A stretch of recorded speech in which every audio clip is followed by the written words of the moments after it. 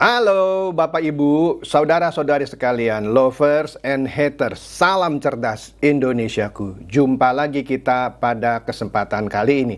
Bagi Anda yang belum subscribe channel saya, silakan subscribe channel saya, tekan loncengnya agar Anda dapat notifikasi setiap kali saya mengupload video-video saya. Oke, pada kesempatan kali ini saya akan membahas tentang bisnis-bisnis apa saja yang tetap gurih meski kita sedang memasuki resesi. Pandemi kan kita sudah bilang boleh saja mulai berlalu gitu, tapi kita lagi masuk jurang resesi nih. Ya Indonesia sih katanya kondisinya lebih baik lah ketimbang negara-negara Asia lainnya yang sudah minta bantuan IMF. Tapi kalau negara-negara banyak yang resesi, ya pasti Indonesia juga akan kena imbasnya. Maka kita harus siap-siap. Nah, saya diminta oleh seorang teman untuk nanti mengisi acara di komunitasnya gitu ya.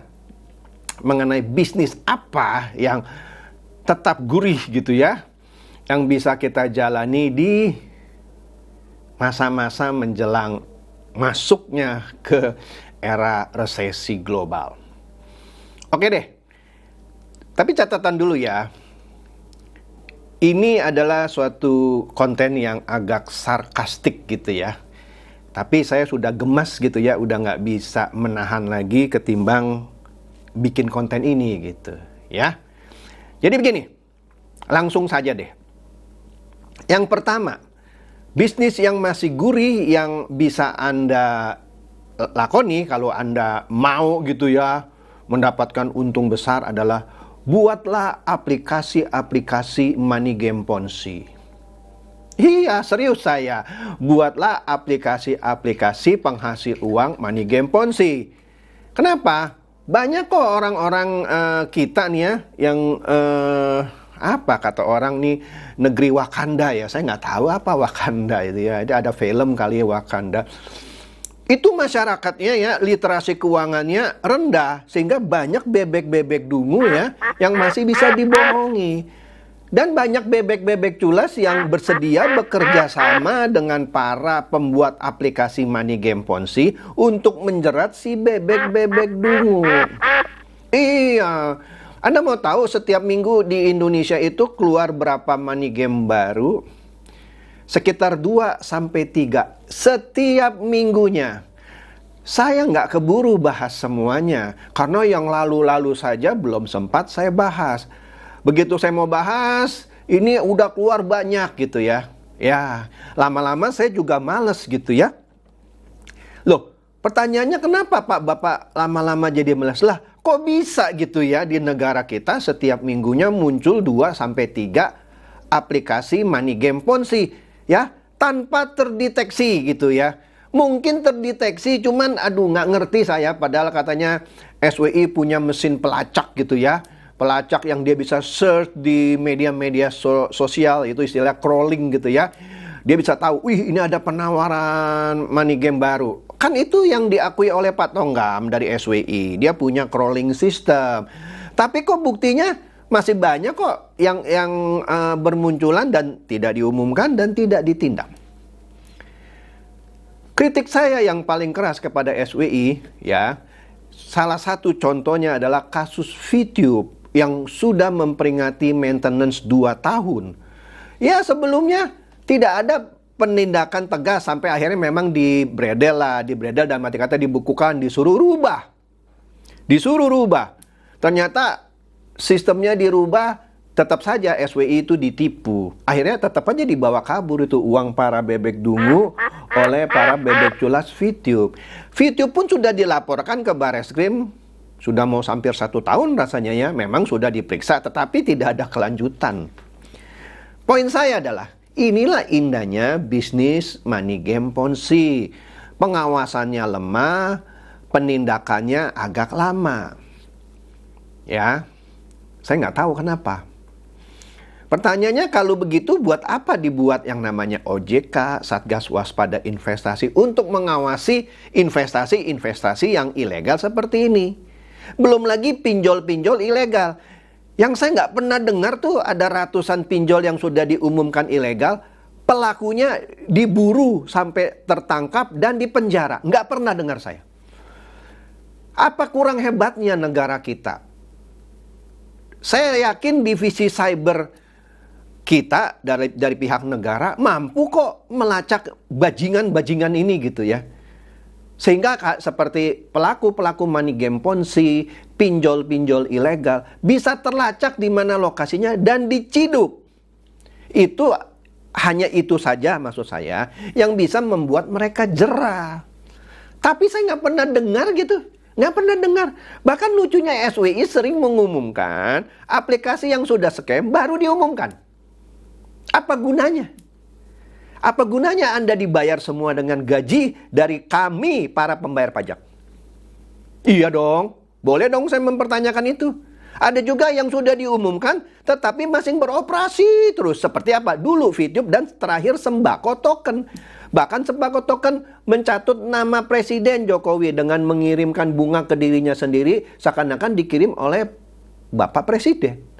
SWI-nya diam saja, nggak bisa ciduk itu sembako token. Bahkan sembako token jelas-jelas bikin kantor cabang di mana gitu. Anda lihatlah konten saya terakhir. Ini yang bikin saya geram. Nah inilah contoh bisnis gurih di era resesi. Karena semakin sulit ya eh, ekonomi suatu negara, maka itu yang namanya money game itu bermunculan. Contohnya ketika pandemi kan banyak marak. Nah resesi saya curiga akan tambah banyak. Tapi aparat kita dalam, dalam arti apa ya pengawasan OJK SWI gitu ya percuma gitu dibentuk. Saya lagi berpikir ya buat apa ya negara kita bikin OJK SWI ya kalau nggak bisa ngatasi gini ya. Saya nggak tahu ya apakah Pak Jokowi tahu ini. Mudah-mudahan Pak Jokowi dengar ini konten saya. Itu satu ya. Kedua apa? Kita bikin koperasi simpan pinjam. Ya. KSP ya. Seperti Indosurya gitu ya. Yang apa ya membawa lari lah gitu ya. 106 triliun. Dan difonis lepas dari jeratan hukum. Keren ini. Keren banget. Keren banget. Oleh karena itu jangan heran nanti akan bermunculan-bermunculan lagi KSP-KSP yang ujung-ujungnya untuk makan uang bebek dulu. Yang nggak tegas kita. Lah buat apa pertama kali dikasih izin oleh OJK itu KSP Indosuria berdiri, tapi nggak diawasi? Iya dong. Gagal ini negara. OJK gagal. Kalau saya yang jadi korban Indosuria, saya gugat OJK. Ke mana aja Anda? Saya dengar rumor ya, saya nggak tahu ini benar atau enggak. Banyak itu yang para uh, pendiri koperasi seperti Indosuria, kalau weekend itu entertain para pejabat. Ya ini rumor ya, saya nggak bisa buktikan. Yang cuma saya dengar, ya seperti eh, orang-orang uh, di bidang regulasi, ya mungkin OJK atau apa, saya nggak tahu. Ini rumor gitu. Ajak main golf gitu. Harusnya orang-orang yang bekerja di OJK misalnya ya di institusi garda terdepan pemerintah untuk mengawasi hal-hal seperti ini harus steril dari gratifikasi halus seperti ini. Dulu waktu saya bekerja di sebuah bank swasta gitu ya, saya diangkat sumpah. Sumpahnya adalah karena saya sebagai kepala proyek, sumpahnya sederhana. Jika saya tertangkap minum kopi saja, minum kopi saja. Sama salah seorang vendor mana pun. Dan bukan saya yang bayar dan saya klaim ke kantor, artinya saya ditraktir gitu ya, cuman minum kopi, dipecat. Nah, begitu dong. Bikin dong pejabat-pejabat OJK atau lembaga-lembaga apa pun lah yang mengawasi ya orang-orang yang berpotensi sebagai bebek culas tidak boleh berhubungan dengan mereka kecuali urusan kerja misalnya ya harus uh, di kantornya OJK misalnya kan kalau ada pelanggaran panggil ya uh, Aduh, memang susah sebenarnya untuk melakukan pengawasan. Tapi itu harus. Kalau nggak jebol lagi, jebol lagi. Sudah berapa banyak yang jebol KSP ini, ya? Sebentar lagi akan ada lagi yang besar satu, ya. Apalagi Pak? Uh, bisnis-bisnis yang gurih. Asuransi. Saya sebagai ex penggiat asuransi, ya walaupun saya waktu itu iseng-iseng, tapi saya bisa membuktikan saya bisa menjual asuransi dengan benar, bisa mem, apa, membina downline saya dengan baik. Ya, tapi waktu itu saya tidak lanjutkan ya, karena itu kan saya cuma mengetes diri saya gitu ya. Bisa nggak seorang Chandra Teja ini seorang IT juga uh, jadi sales gitu ya. Dalam hal ini sales asuransi, asuransi yang benar loh ya. Sampai sekarang pun masih berdiri. Kasihan gitu sama teman-teman saya yang bergerak di bidang asuransi yang benar, gara-gara kejatuhan misalnya Jiwasraya, Bumi Putra, Kresna Life, terakhir Wana Arta. Ada lagi apa ya katanya Bakri Life, saya nggak gitu ngikutin ya. Nah lama-lama kepercayaan orang terhadap dunia asuransi hancur. Sekarang saja sudah terjadi kontraksi gitu ya. Penjualan asuransi jiwa itu katanya, saya belum cek lagi, itu semakin sulit sekarang. Karena kepercayaan masyarakat kepada dunia asuransi sudah menurun. Kenapa? Lah, itu anak harta kan diawasi dan punya lisensi OJK. Kok bisa bawa kabur uang 15,9 triliun? Itu Bumi Putra.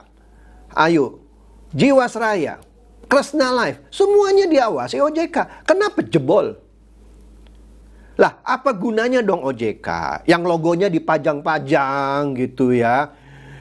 Ya apakah ya saya nggak tahu ya ini rumor juga ya. Apakah misalnya izin yang pertama kali didapatkannya susah tetapi tidak di maintain karena di perjalanannya para bebek culas ini pemilik asuransi yang eh, apa yang nakal gitu ya kerjanya cuman pinter entertain.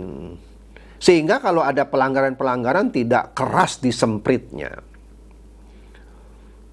oke. Begitu juga sekaligus lah saya, saya ngomong dah nih kasus robot trading dah, robot trading forex, kripto gitu ya. Apa itu banyak gitu, Fahrenheit, ya, Fin 888, Viral Blast, Net 89, ATG, DNA Pro. Mana itu peran Bapepti? Sayangnya pejabat PLT Bapepti yang lama tertangkapnya gara-gara kasus korupsi minyak kelapa goreng. Minyak kelapa goreng, betul ya, minyak kelapa. Bukan gara-gara kasus robot trading. Harusnya juga diperiksa dong dia. Kenapa itu selama ini nggak pernah nggak pernah bisa diawasi? Loh, kok begitu saja gitu ya? Kok nggak ada pejabat pemerintah yang dihukum atas kegagalannya mengawasi ini?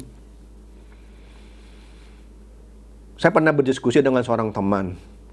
Pak Chandra jangan gitu katanya. Kerjanya Bapepti, OJK, SWI dan lain-lain itu berat Uh, Pak Chandra cobalah disuruh jadi ketuanya atau apa. Pak Chandra mau nggak? Oh nggak mau saya. Ya kan? Mendingan saya bisnis sendiri gitu ya. Lah iya, itu susah Pak Chandra gitu ya.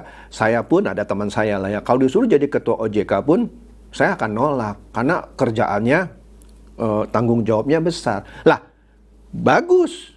Tapi kalau ada orang yang berani mengambil tanggung jawab itu, nah di pundaknya itulah yang harus dikasih uh, satu, wewenang pasti menindak dan tanggung jawab. Tanggung jawab dong lo. Kalau sampai ini pada jebol, gitu dong. Saya bingung gitu ya badan-badan dibuat punya wewenang tapi nggak punya tanggung jawab. Sehingga apa ya kepentingan masyarakat yang harusnya terlindungi tidak terlindungi. Oke? Jadi sekali lagi ini sekali lagi saya katakan ini konten sarkastik ya. Terserah lah Anda mau suka atau enggak gitu ya tapi tadi yang saya bilang, inilah bisnis-bisnis gurih. Satu, bikin uh, money game ponzi, termasuk kayak bikin robot trading ponzi. Dua, bikin kooperasi simpan pinjam seperti Indosuria gitu ya. Terus bikin juga asuransi yang nakal-nakal lah seperti Bumi Putra, Jiwasraya, apa Kresna dan Wana Arta. Lah kalau mereka salah manajemen masing oke okay deh. Itu pun kan masing bisa ada pengawasan kan. Setahu saya OJK itu setidaknya setidaknya sebulan sekali ngecek misalnya kalau perusahaan asuransi sehingga kalau ada kelemahan-kelemahan sudah bisa terdeteksi dari awal. Contoh mengawasi RBC risk based capital yang harusnya 120% lebih. Kalau ada perusahaan asuransi di bawah 120% 120% OJK harus melakukan tindakan yang pencegahan nih misalnya. Oke, Anda perbaiki dulu RBC, nggak boleh jualan dulu begini-begini. Tapi ini mana?